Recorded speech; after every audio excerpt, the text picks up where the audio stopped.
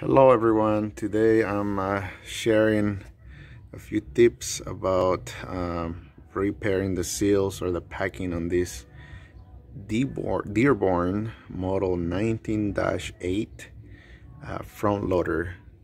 Um, very old unit.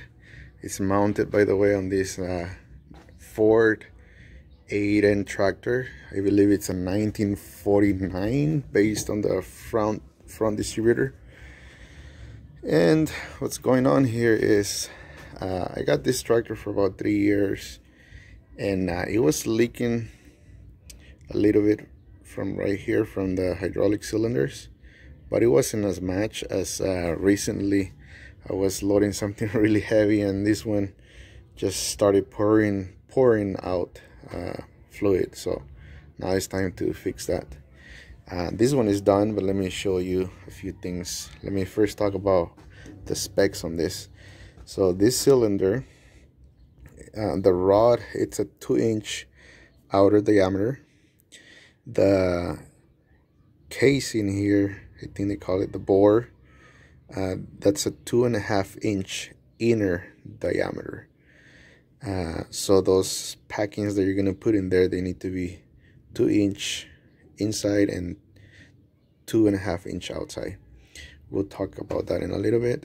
So what i had oh and then uh, another thing i learned since I'm, i was new into hydraulics uh, what i learned this is a single acting hydraulic cylinder. What that means is that there is uh, hydraulic oil traveling only in one direction through this hose lifting this piston or this rod out for the loader to go up. Uh, for going back, what works its way back, it's gravity with the weight of the actual loader. Um, so of course, if uh, if you have a cylinder that has two hoses, that means that it's a dual acting and this won't apply to you probably. It will probably be a completely different cylinder and different packing uh, what I did I had to remove it. You don't even have to remove it but I did it because I wanted to take this to a local shop and find the right parts and maybe you know get educated on what I have here. So of course I removed the hose I removed that pin over there and then I removed this other pin the cotter pin of course. This is a half inch. Um, pretty easy to remove it at that point. Then before I even removed it I removed this cap. It was very loose already. Uh, and then there is uh, what they call the V packing around here. You're gonna need, need a good set of uh, picks to pull it out. Um, but they came out fairly easy. Uh, and then I took the whole thing to to this local shop by the way before you do that make sure you uh, before you do this job make sure you choose a good um, area where you don't mind getting some oil just in case. Of course you need a container here because when this thing comes down or over there when you disconnect your hose if, if you do that you're gonna have some uh, spillage here. Uh, so make sure you oh and most important clean all this cylinder because if it's greasy you're gonna get all that grease in here. You don't want that. You want this all this to be clean. And if you're planning to reuse the oil you make sure whatever drains put it away cover it and then have another container for whatever gets dirty here. Um, I'm planning to put new oil so um, new hydraulic oil. So now let's get to the parts. Here's my receipt. Uh, for both of the cylinders $35 here are the parts. The most important part it's this bottom one here. This is the actual V packing that they call. Um, that's part number V Victor S Sierra 2000 I got two of those for 14.89 uh, let me show you exactly what that is it's this this right here. It's one two three four five six seven total of seven pieces but they come packed like that. It's a whole kit. So each one of these is like $14 the reason why they call V packing as you can see they have a shape of a V in there. One other tip I learned from this guy is that uh, that V the V groove it's supposed to be aiming always towards where the pressure is coming from. In this case the oil is coming from there to push the rod out. So these packings uh, the V is supposed to go in that direction.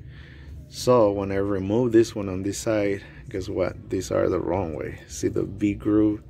It's in that direction. So whoever did this put them wrong I guess. Anyways that's what that guy told me at the hydraulic shop. Uh, so what you're gonna do like I said on the other side you remove this cap. I think they call it the gland. Uh, it's just screw in there. It's very very uh, easy to remove it. Again since it's a single acting there's these don't don't get you know really tight because there's only pressure on one side. Uh, then you're gonna need your picks to remove uh, this to pull them out. Once you do that again we have let's count them. One two three four five six. This is six here. And these are the old. Once you do that you're gonna see over there that it, it's hard to see here but it's just metal in there. And there's like a stop. It looks more, almost like a C um, snap ring or something like that but uh, they told me don't worry about trying to remove that. You don't even need to do that because there's nothing else back there. There's nothing else. It's just a, a metal part that holds this thing off completely coming out. But they said that air, the whole thing that is doing the you know sealing is this V packing and of course there's also your wiper they call it on this cap which is this o-ring right here uh, and let me show you that part number. On my receipt here is that top one there. They call it the 329 o-ring. The specs are right under 2 by 2 3 eighths by 3 sixteenths. Uh, and that was two dollars. I got two of those of course. And if you google these part numbers uh, you'll find them. And they'll be a little cheaper but with shipping it's gonna come out to about the same somewhere in between 35 to 40 dollars with your shipping. So what I'm gonna do here I'm just gonna pull this out. You're gonna need to sand this really nice. Yours is gonna be probably really dirty and thick. You need to sand it really good so it'll mostly for the new ones. When they go in you don't damage them. Uh, probably put some oil around and they'll slide right in and then with the same cap you're gonna pretty much push them in there.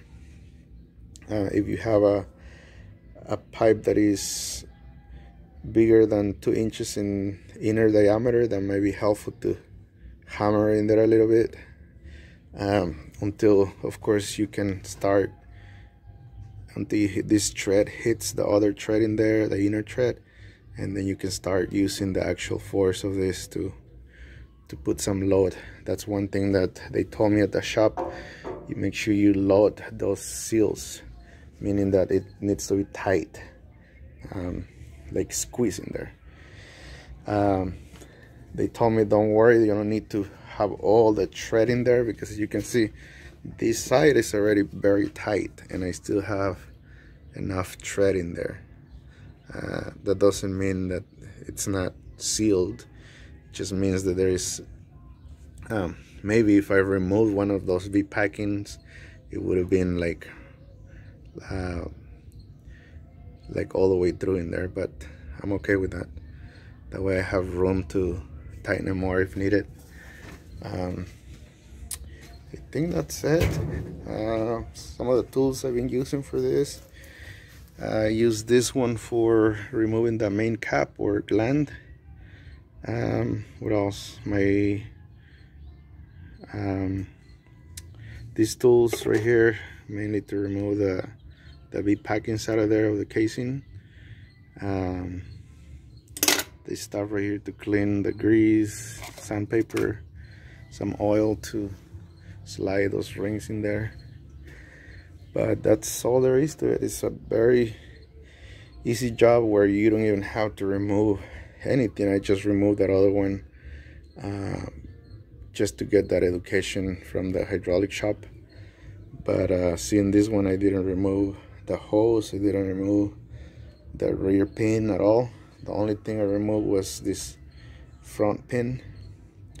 Um, put a jack down here just uh, because this thing is heavy. And once I got it extended I'm just resting here on this towel so again make sure you clean really really good because you don't want to damage or get this dirty. You don't want to get any dirt in there. Um, and these grease zerks uh, also I removed them because they are here on the on the tip. And uh, I'm gonna clean and greasing grease them and I'm gonna add new hydraulic oil anyway. So by the way that's supposed to go right here this is the filling cap I found um, information online that it's supposed to take three to four gallons. Um, I'm not sure of that to be honest but I got a five gallon bucket of this which is the one that I use also for the for the main uh, transmission and everything. So if I don't use it all I have enough for future uh, one thing I did find on the manual is of this loader is that you're supposed to fill it all the way to to this cap. So I guess that'll tell me how much it needs. Uh, oh and I drained I forgot that step. I did drain my my oil.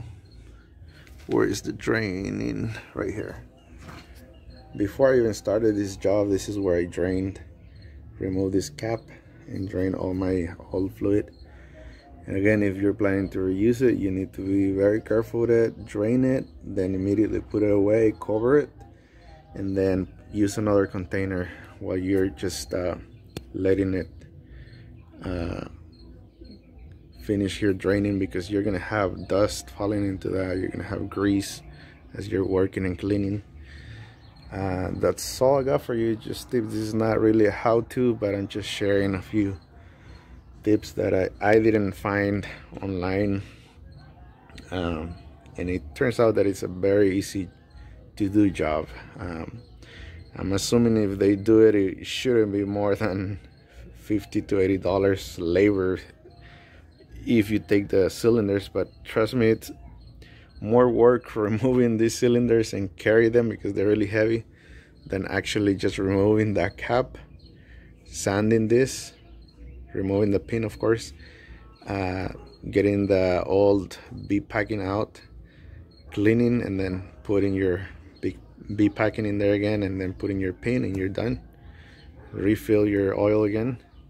Uh, so I'm gonna pause it here and I'm gonna show you once it's working to make sure it's not leaking.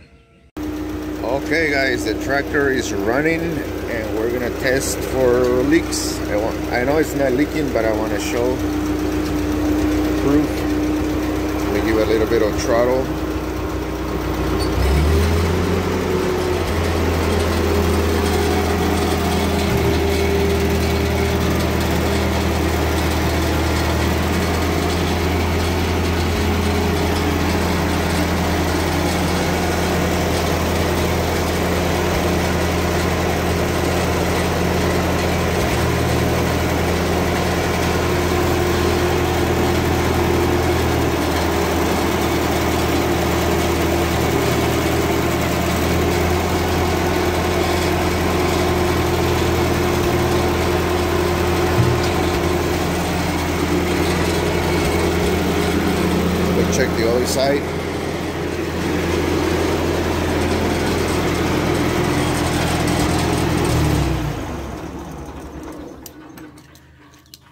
Let's inspect this one. Definitely not leaking. Alright. The wiper there looks like it's doing its job too, keeping that rod clean. Sweet. I will call it a fix. No more hydraulic leaking at least off the cylinders. I still have issues with my valve over there hydraulic valve. Um, so quick summary of things that I did after the pausing the video. Uh, remember I was working on this one right here. Uh, I had a little bit of struggle putting the V packing in there on this one for some reason. So what I ended up doing is I divided the packing in two sets. Uh, I think I left two two rings out. So I tightened this all the way in without even putting the wiper so I can put this in and out easily. Uh, I and then I tighten it really good to load it in there. Then I move this cap out without moving the the piston. Of course this is before I put the pin in here okay? Um, then I send the other the remaining of the V packings in there and that allow me to to grab thread to be able to pack it there really good to press it. Uh, without doing that you either gonna have to eliminate at least two of those um, rings or packings uh, or you're just gonna have a hard time trying you know be able to grab the thread in there. But that's what I did. I divided that in into two groups. And I first forced the first group in there and then put the next group in there. So as a reminder remember the V the V groups need to be facing that way. Um, and then when removing your old packing don't waste time trying to get it out. Neat just grab two uh, picks and just junk it out of there. Uh, and then another thing when I refilled since I had a five gallon bucket I placed it right here on the on the hood. Uh, this is the filling cap it took uh, from my five gallons approximately three and three quarters almost four gallons. Uh, so I have a, a, little bit over a gallon left of that right there uh, one thing that I strongly recommend is one of those Harbor Freight Harbor Freight um, pumps really handy especially if you're doing the the five gallon bucket. Strongly recommend it. Um, if you're just doing one gallon at a time then no big deal with the funnel. Uh, of course don't forget to put your draining cap back uh, one other thing when I filled it the first time I ran the tractor.